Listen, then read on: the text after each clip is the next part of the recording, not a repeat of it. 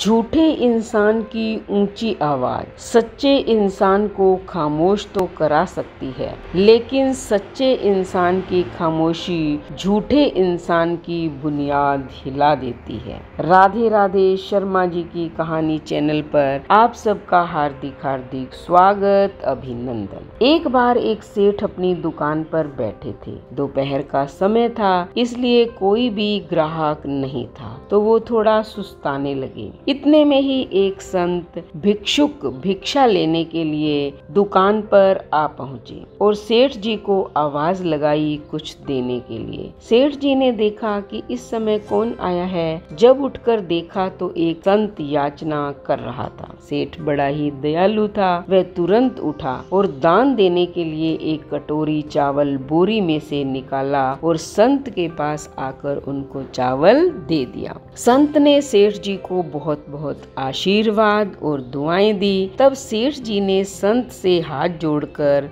बड़े ही विनम्र भाव से कहा कि, हे गुरुजन, आपको मेरा प्रणाम। मैं आपसे अपने मन में उठी शंका का समाधान पूछना चाहता हूँ। संत याचक ने कहा कि, ज़रूर पूछो। तब सेठ ने कहा कि, आप मुझे बताइए कि लोग आपस में लड़ते क्यों हैं? संत ने सेठ जी के इतना पूछते ही शांत स्वभाव भाव और वाणी में कहा कि सेठ, मैं तुम्हारे पास भिक्षा लेने के लिए आया हूँ। तुम्हारे इस प्रकार के मूर्खता पूर्वक सवालों के जवाब देने नहीं आया। इतना संत के मुख से सुनते ही सेठ जी को क्रोध आ गया और वो सोचने लगे कि ये कैसा घमंडी और असभ्य संत है। ये तो बड़ा ही कृतज्ञ है। एक तरफ़ मैंने इसको दान दिया और ये मेरे को इस प्रकार की बात बोल रहा है, इसकी इतनी हिम्मत और ये सोचकर सेठ जी को बहुत ही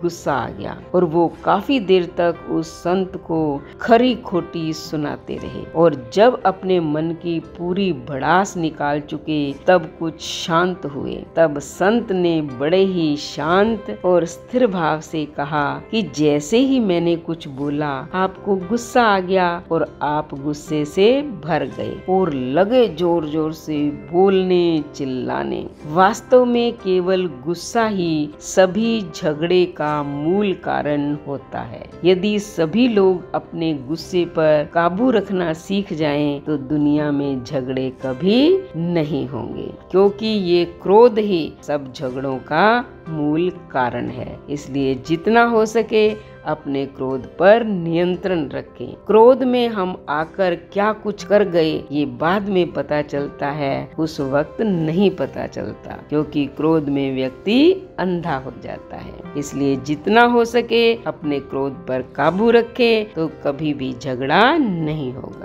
अच्छी लगी ना कहानी, अगर कहानी पसंद आई हो तो चैनल को सब्सक्राइब करें, लाइक और शेयर करें, कमेंट करें और बेल आइकन के बटन को दबाएँ ताकि ऐसी ही मोटिवेशनल कहानी का नोटिफिकेशन सबसे पहले आपको मिले। धन्यवाद।